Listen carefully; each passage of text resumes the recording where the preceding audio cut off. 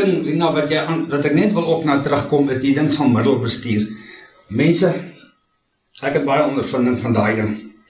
Omdat ek in groot maatskappye gewerk het en omdat ek um, lank in vir groot maatskappye geprogrammeer het. Wees asseblief baie bedag op julle middelbestuur.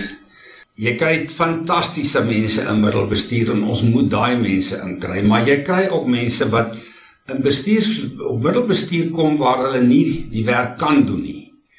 En dan begin hulle terugval en hulle begin die skuld op hulle personeel plaas. En uh hulle begin die personeel swart smeer by die by die baase. Die personeel raak so diem gedemotiveerd. Hulle het nie toegang tot die baas nie en die dag as jy die twee inloop, is daai persoon al so geboelie dat hy hy gaan nie praat nie. Hy gaan nie teenoor jou praat nie want hy het sy werk nodig. So ek ek, ek, ek mense ons moet regtig asseblief ons moet ons moet kyk na ons middelbestuur. Uh en ons moet sorg dat ons ons middelbestuur oplei. Ehm um, ons praat nou 'n bietjie lank maar ek ek wil nog net hierdie een storie vertel want dit is 'n wonderlike storie. Ek het 'n uh, saam met 'n maatskappy gewerk in die personeelagentskap en ek het met hierdie spesifieke vrou saamgewerk en jy's ons het lekker saamgewerk. Ehm um, 'n wonderlike vrou gewees.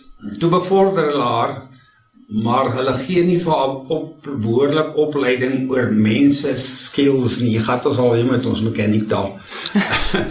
en toe bedank sy of hulle dit haar afgedank. Ek weet nie. Ek ek weet nie die foute nie. Maar toe ek dit hoor, bel ek haar. Toe sê kom.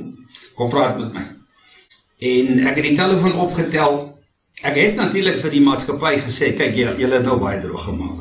Maar ek dink nie daar was meer self te smeer. En toe tel ek die telefoon op en ek bel 'n ander maatskappy. Toe sê ek vir hulle ek het vir julle 'n fantastiese vrou. Maar ons is eerlik met mekaar. Julle moet hierdie vrou oplei met mense skills. Hoor jy ek het lanklaas van haar gehoor, maar laas wat ek van haar gehoor het, het sy geblom. En die tweede maatskappy het het die voordeel getrek en ons het ons het 'n goeie kommissie daar uitgekry. Ja, nee. OK.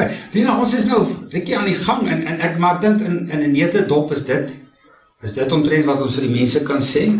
Vir nou ja. Vir nou, nou julle kan ongelukkig nie vir Lena uh, eh, e-pos te stuur nie. Eh, uh sy's baie besig. Sy help my net so nou en dan praat sy saam met my uh, veral met hierdie goeters.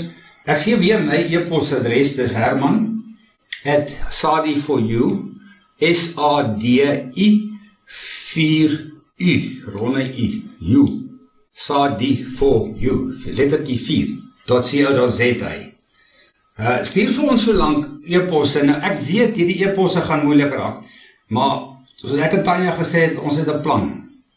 Uh ons het altyd planne. Ons het strukture in die pad, in die plek wat ons kan oopmaak, dat ons net kyk hoe werk dit. Uh Rina het uh, baie hard gehelp aan die structure, sy ken dit, Ehm um, so ons gaan nogal na op haar knoppie druk vir wanneer sy tyd het.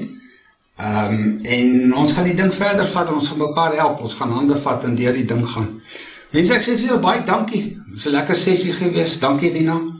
Groot plesier totdat ons weer gesels. Ja, ons gaan binnekort ons, ons moet oor daai aanstellings praat en ek wil hê jy moet saam met my praat daaroor.